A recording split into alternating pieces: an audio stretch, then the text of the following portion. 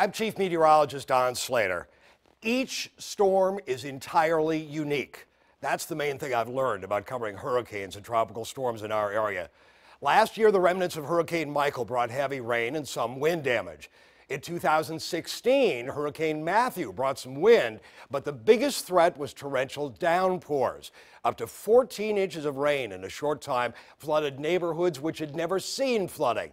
And some of those neighborhoods are still recovering three years later. But by far the biggest storm to strike in recent years was Hurricane Isabel in 2003.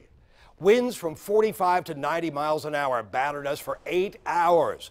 The surge of water accompanying that wind was the highest in 70 years. Tens of thousands of trees were knocked down in that combination of wind and waterlogged soil.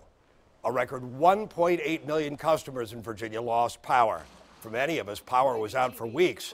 And in Virginia, 10 people died as a direct result of Isabel 26 people died in the immediate aftermath.